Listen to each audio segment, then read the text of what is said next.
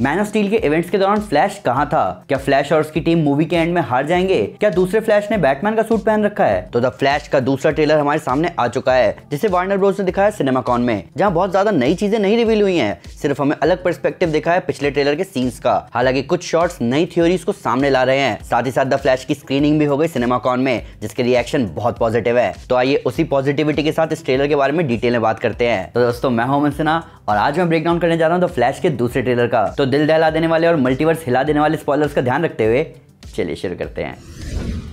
तो आप जानते हैं कि मैंने लिटरली आपको एक एक शॉट का डिटेल ब्रेकडाउन अपनी पिछली वीडियो में दिया ही था। पर अब वक्त है नए शॉट्स के बारे में बात करने का। तो सबसे पहली चीज़ जो इस नए ट्रेलर में रिवील हुई, वो है बैटमैन यानी ब्रूस वेन की फैमिली फ़ोटो ये इवेंट अपने 1989 के बैटमैन के यूनिवर्स में ही हो रहे हैं। यहाँ कोई चेंजेस नहीं है स्टोरी में। क्योंकि ना ही सिर्फ़ ब्रूस के पेरेंट्स यहाँ वही है जो आप नोटिस कर सकते हैं नाइनटीन के बैटमैन की ओरिजिन स्टोरी में। बल्कि अगर आप बैटमैन का मिलियन डॉलर डेस्क सेटअप देखो तो आप नोटिस करोगे की यहाँ सिर्फ़ मॉनिटर्स मॉडर्नाइज हुए हैं। जबकि उनकी अरेंजमेंट वैसी ही है जैसी नाइनटीन की बैटमैन मूवी में थी। हालाँकि बेशक एडवांस टेक के साथ बैट प्लेन बेशक 10 गुना ज़्यादा औसम हो गया हो, पर बैटमैन के सूट रखने का तरीका अभी भी 80s वाला ही है। हालाँकि जितना बूढ़ा बैटमैन यहाँ दिख रहा है उस हिसाब से ये कहना गलत नहीं होगा कि उसका एल्फ्रेड अब तक मर चुका है। अब आते हैं यहाँ पीछे सुनाई देने वाले औसम डायलॉग पर, जहाँ माइकल कीटन का बैटमैन बैरी को बता रहा है कि कैसे उसके दर्द ने उसको वो बनाया जो वो आज है। उसने अपना जीवन लगा दिया क्राइम से लड़ने में, ऐसे जैसे ये सब करके उसके पेरेंट्स वापस आ जाएँगे, जबकि वही बैरी लिटरली यही कर रहा है, अपने दोनों पेरेंट्स को वापस लाना, जहाँ बैरी की माँ नौरा एलन मारी गई थी, वही बैरी के पिता को उसी मर्डर के एलिगेशन के साथ जेल हुई, और बैरी ने बिना अपने माता पिता के अपना बचपन देखा। वही ऐसा ही कुछ हाल बैटमैन का भी था।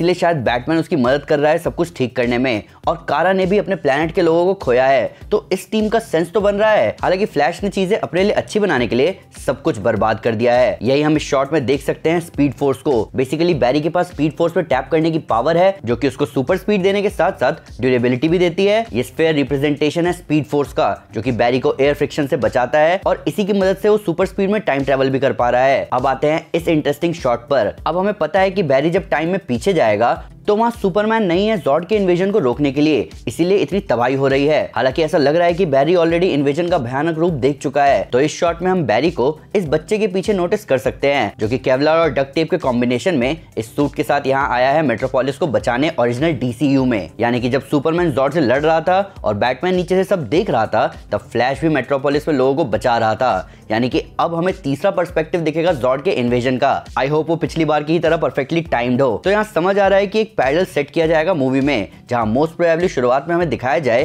कि बैरी मेट्रोपोलिस के इन्वेजन को रोकते हुए वहाँ के भयानक नजारे को देख चुका है। और अब जब दूसरे यूनिवर्स में ये नज़ारा फिर से दिखने वाला है तो क्यों उसके लिए एक्स्ट्रा इंपॉर्टेंट है कि वो कैजुअलिटीज को मिनिमम रखे और इसीलिए फाइट मिलिट्री एरिया में है। हालाँकि मैं इंटरेस्टेड हूँ इस फैक्ट में कि क्या हमें यहाँ लुइस लेन फिर से दिखेगी। अब आगे इस शॉट में यहाँ मार्था वेन इंस्टीट्यूट के बाहर हम फ्लैश को खड़ा देख सकते हैं। वही अंदर दूसरा बैरी लोगों को बचा रहा है। आगे कारा बैरी से पूछ रही है सुपरमैन के एस सिंबल का मतलब और बैरी क्या? हम सब जानते हैं कि इसका मतलब है होप। अब अगले शॉट में माइकल कीटन का बैटमैन बोल तो रहा है कि you wanna get nuts let's get nuts अब हिंदी ट्रेलर में इसका कंटेक्स्ट लग रहा है कि यहाँ बैटमैन जॉर्ड की बात कर रहा है। हालाँकि असली पागलपन मूवी में है बैरी का सुपर स्पीड फिर से गेन करना, और ये पागलपन बहुत खतरनाक है। हमें पिछले ट्रेलर में भी इसकी झलक मिली थी कि कैसे बैरी खुद पर लाइटनिंग गिरवाकर वापस अपनी पावर्स हासिल करेगा। और ये पागलपन का पार्ट नहीं है। पागलपन ये है कि जब पहली बार पावर्स नहीं मिलेंगी तो दूसरी बार खुद पर बिजली गिरवाना असली पागलपन है।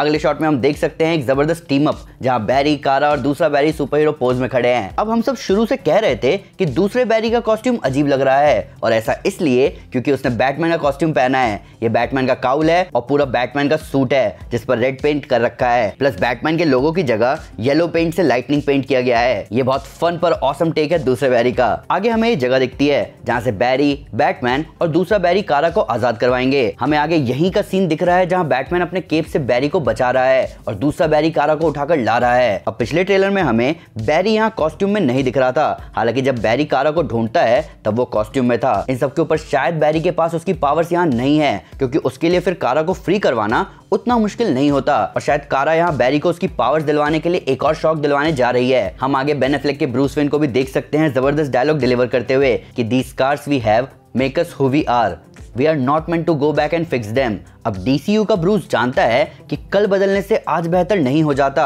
प्लस हमारा एक्सपीरियंस ही हमें वो बनाता है जो आज हम हैं। ये बहुत ज़बरदस्त लाइन है। इसके अगले शॉट में हम देख सकते हैं बेन एफ्लेक के बैटमैन को फ्लाइंग फॉक्स से निकलते हुए। पिछली बार हमने फ्लाइंग फॉक्स को देखा था जैक स्नाइडर की जस्टिस लीग में, जहाँ यही एयरक्राफ्ट लीग को रशिया ले जाती है और वहाँ से लेकर आती है। अब मुझे हैरानी हो रही है कि यहाँ मेन डीसीयू टाइमलाइन में ऐसा क्या हुआ जो बैटमैन को फ्लाइंग फॉक्स से आने की ज़रूरत पड़ गई। इसके बाद इस शॉट में हम देख सकते हैं बैरी को बिजली से बंधे हुए। अभी तक जितने भी सीन हमने देखे बैरी के लाइटनिंग वाले, उनमें हमें बैरी कहीं भी सूट में नहीं दिखा। हालाँकि ऐसा लग रहा है कि बैरी दूसरे बैरी से इसी जगह बात कर रहा है। तो यहाँ हो क्या रहा है? आगे हम देख सकते हैं, बैटमैन और उसकी टीम को जॉर्ड की आर्मी की बैंड बजाते हुए और कारा को जॉर्ड की बैंड बजाते हुए। अब जहाँ ऐसा लग रहा है कि बैटमैन फ्लैश और सुपर गर्ल जॉर्ड को रोक देंगे, वहीं कहीं ना कहीं ऐसा भी लग रहा है कि ये लोग जीत नहीं पाएँगे। क्योंकि हम जहाँ यहाँ कारा और बैटमैन को हताश देख सकते हैं, ऊपर से यहाँ फ्लैश भी कह रहा है कि हम कुछ भी कर ले, कोई इसे ठीक नहीं कर सकता। जिसमें दूसरा फ्लैश कह रहा है कि नहीं, कोई नहीं मरेगा। अब अगर आपने मैन ऑफ़ स्टील देखी है तो आपको ध्यान होगा कि जहाँ सुपरमैन जॉर्ड को रोकता है, वहीं वो वर्ल्ड इंजन को भी तबाह करता है, ताकि अर्थ का एटमोस्फेयर कन्वर्ट ना हो पाए क्रिप्टोनियन एटमोस्फेयर में। तो जहाँ हम यहाँ बैरी और उसके साथियों को, जॉर्ड और उसकी आर्मी को रोकते हुए देख रहे हैं, वहीं वर्ल्ड इंजन जो कि एक मेट्रोपोलिस में है, और दूसरा इंडियन ओशियन में उन्हें कौन तबाह करेगा? जिसका मतलब बैरी को टाइम में वापस जाकर अपनी गलती ठीक करनी पड़ेगी, यानी उसे अपनी माँ को मरने देना होगा, जो कि अब उसके लिए पहले से ज़्यादा ट्रोमेटिक और पेनफुल होगा। आगे हम वापस मिलते हैं नामेक से। इसका नाम एक नहीं, इसका नाम है नामेक। कोई लेम जोक का अवार्ड दो मुझे। तो नाम एक से हम मैन ऑफ़ स्टील में भी मिल चुके हैं, जो कि जैसे यहाँ बैटमैन के एयरक्राफ्ट पर उछला, वैसे ही वो मैन ऑफ़ स्टील में जेट के ऊपर कूदा था। हालाँकि वहाँ वो निकल गया हो, पर यहाँ बैटमैन से बचना मुश्किल है। लास्ट शॉट में हम देख सकते हैं बैरी और दूसरे बैरी को बैटमैन के बैट प्लेन में, जहाँ वो लोग जा रहे हैं कारा को आज़ाद करवाने। ये सेम प्रमोशनल फुटेज हमें दिखाया गया था रेडिट पर इस ट्रेलर की डेट को अनाउंस करते हुए। तो मैंने वहाँ भी कहा था और मैं यहाँ भी कह रहा हूँ कि बैटमैन को पैराशूट की ज़रूरत नहीं है। हालाँकि मानो या ना मानो, ये सीन औसम बहुत लग रहा है। तो ओवरऑल इस ट्रेलर ने हमें और एक्साइट कर दिया है द फ्लैश को लेकर। इन सब के ऊपर सिनेमा कॉन के प्रीमियर के रिस्पॉन्स को देखकर ऐसा लग रहा है कि हमें एक बार फिर नोवे होम जैसी फील आने वाली है इस मूवी को देखकर। पर अब देखना यह है कि वार्नर ब्रोस क्या इसी लेवल का फन हमें नए डीसीयू में दे पाएगा? तो दोस्तों, ये था ट्रेलर ब्रेकडाउन फ्लैश के दूसरे ट्रेलर का। ये आखिरी ट्रेलर ब्रेकडाउन है इस चैनल पर। फ्लैश मूवी से रिलेटेड कहीं नहीं जा रहा मैं। ये मूवी अब ऑलमोस्ट एक महीना दूर है रिलीज़ से। इसके रिव्यू मूवी से जुड़ी छोटी छोटी डिटेल्स अब आपको जगह जगह दिखनी शुरू हो जाएँगी। पर यही ब्यूटी है स्टोरी की, जहाँ सबको पता है कि ये स्टोरी फ्लैश पॉइंट के बारे में है, पर तब भी हम फैंस एक्साइटेड है इस मूवी को हॉल में देखने के लिए। पर फिर भी उनसे कोई डिटेल मिस हो गई हो, या कोई उसको नया फैक्ट वीडियो से रिलेटेड तो प्लीज़ हमें कमेंट पर ज़रूर बताएँ। या हमारे सोशल मीडिया हैंडल पर हमारे साथ शेयर करें। हम हर जगह हैं। तो दोस्तों, अगर आप डीसी के बारे में लिटरली सब कुछ जानना चाहते हैं तो मैं आपको हमारी Injustice Gods Among Us comic series recommend करूँगा। साथ ही साथ, अगर आपको वीडियो पसंद आए तो इस वीडियो को लाइक और शेयर ज़रूर करें और ऐसे कई सारे सुपर कंटेंट के लिए हमारे चैनल को सब्सक्राइब करना ना भूलें। Thank you guys this is Aman Sinha and you are super super peace